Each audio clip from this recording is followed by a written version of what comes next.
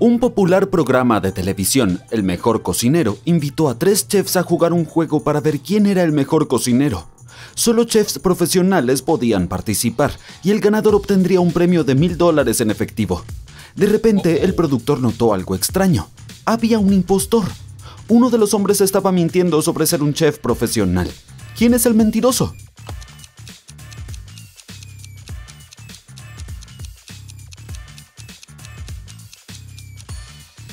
Mira al tercer hombre. Parece que no sabe cómo afilar un cuchillo. No es un verdadero cocinero y esa mancha de sangre en su uniforme parece sospechosa. Ahora mira a estos tres mendigos. Parece que hay un mentiroso entre ellos. ¿Puedes adivinar quién es?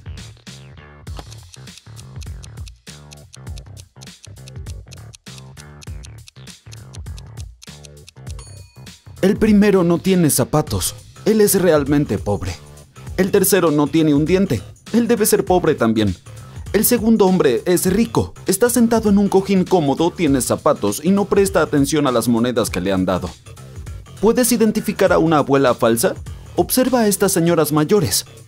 Una de ellas en realidad no es una abuela.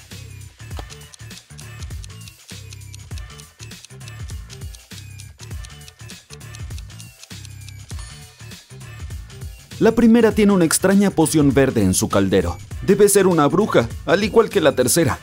Pero puede ser una bruja y una abuelita. ¿Qué pasa con la segunda?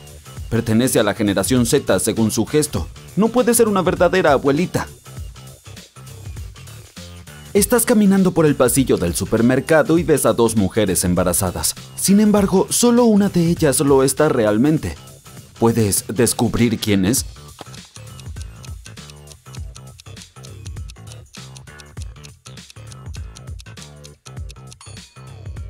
La pareja de la izquierda sin duda está esperando un bebé.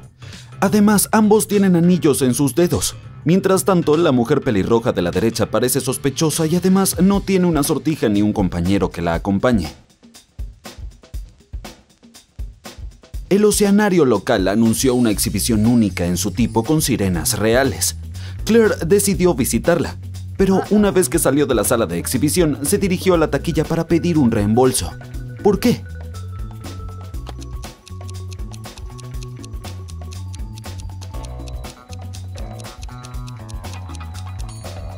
La cosa es que una de las sirenas no era real. Fíjate en los lunares idénticos que tienen estas dos damas. Deben ser hermanas, así que la chica con la camisa amarilla debe estar fingiendo. Ah, y tampoco tiene branquias. Es un día laboral, pero tu jefe te permite trabajar de forma remota. Estás en una llamada de Zoom, pero te das cuenta de que uno de tus colegas no está en casa. ¿Quién es?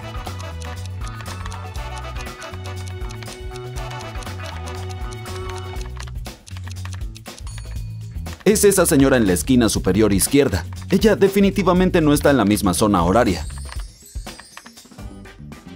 Te encuentras en una bifurcación. Un camino lleva a la ciudad de las mentiras, donde todos siempre mienten, y el otro a la ciudad de la verdad, donde todos siempre dicen la verdad. Hay una persona en la bifurcación que vive en una de las ciudades, pero no está seguro de cuál. ¿Qué pregunta deberías hacerle para descubrir qué camino lleva a la ciudad de la verdad?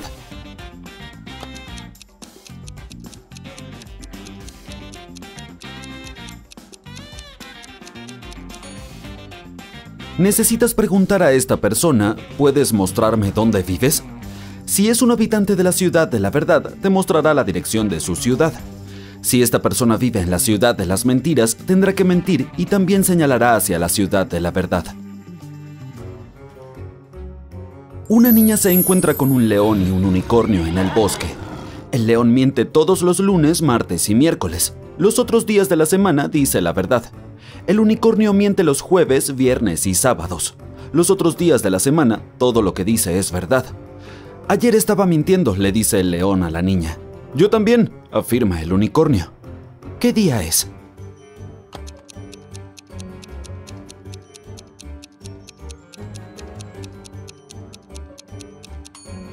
Es jueves. Un hombre fue capturado en la propiedad del rey. Lo llevaron ante el rey para que fuera castigado. El rey dijo que el hombre debía dar una declaración. Si era verdadera, el hombre tendría que enfrentarse a leones furiosos. Si era falsa, tendría que lidiar con un búfalo salvaje. Si el rey no podía resolverlo, tendría que dejarlo ir. Finalmente, el hombre fue liberado. ¿Cuál fue su declaración?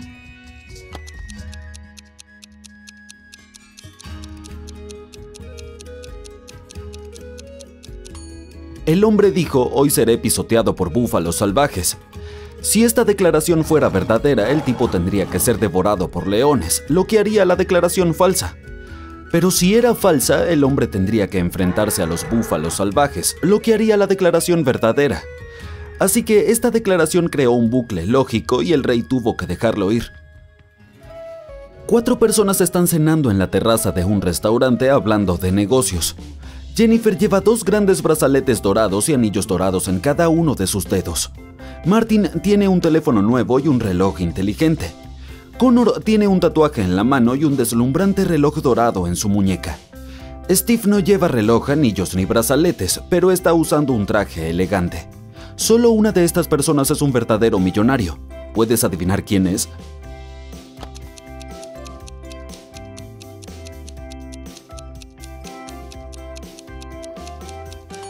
Es Steve. Tiene llaves de coche en el bolsillo y hay un auto deportivo nuevo aparcado cerca. Jennifer lleva zapatos viejos y rasgados, así que sus joyas deben ser imitaciones. El teléfono de Martin también es falso, y Connor tiene zapatos viejos y rasgados igual que Jennifer. Un rey sabio se dio cuenta de que estaba cansado de todo el arduo trabajo que tenía que hacer, por lo que decidió encontrar a alguien que pudiera reemplazarlo. Decidió organizar un desafío, quien lograra cumplirlo se convertiría en el próximo rey. Cualquier persona que quisiera tomar el trono necesitaba poner un pepino entero dentro de una botella de vidrio sin cortar el pepino ni dañar la botella. Los participantes tenían una semana para hacerlo. Este desafío parecía ser imposible, por lo que solo cinco personas decidieron participar y solo hubo un ganador. ¿Cómo logró poner el pepino en la botella?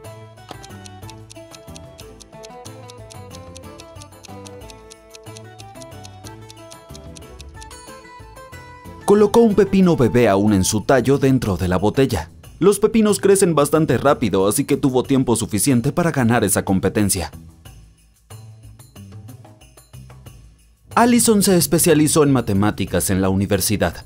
Sus compañeros de cuarto querían poner a prueba su inteligencia. Tomaron tres sobres y escribieron mensajes cortos en ellos. Luego pusieron las respuestas de las preguntas del examen de Allison en uno de los sobres.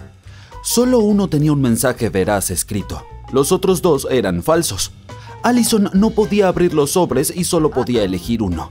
El primer mensaje decía, aquí no están las respuestas del examen. El segundo decía, aquí están las respuestas del examen. Y el tercer mensaje decía, las respuestas del examen no están en el segundo sobre. ¿Qué sobre debería elegir Allison?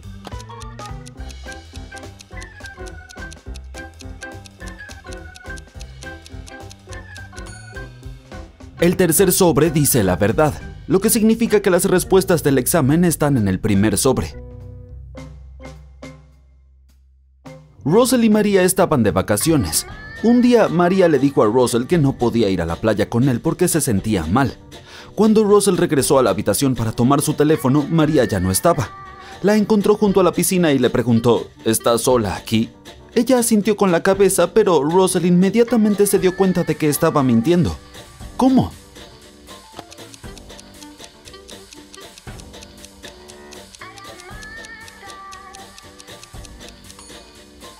Había dos refrescos y dos bandejas de frutas sobre su mesa. Mark, Jim y Bob trabajan como gerentes en la misma oficina. Un día uno de ellos es despedido y otro obtiene un ascenso. El gerente restante quiere renunciar al principio, pero luego cambia de opinión. Sabes que el que es despedido es mayor que los demás y soltero. Jim es más joven que el gerente que decidió quedarse en el trabajo y no conoce a la esposa de Bob. ¿Quién es despedido?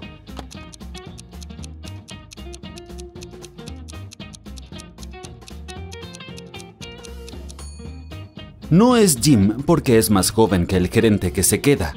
Tampoco es Bob porque está casado. Eso significa que Mark ha sido despedido, Jim ha obtenido un ascenso y Bob ha decidido quedarse en su posición.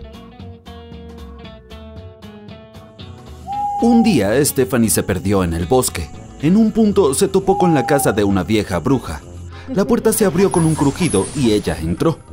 La bruja resultó ser muy amable. Le prometió a Stephanie que haría sus sueños realidad si resolvía un acertijo. Stephanie soñaba con un nuevo teléfono, así que aceptó. La bruja preguntó, si 11 más 3 es igual a 2, ¿cuánto es 8 más 6? A Stephanie le tomó un minuto encontrar la respuesta, pero ¿lo logró? ¿Cuál fue la respuesta?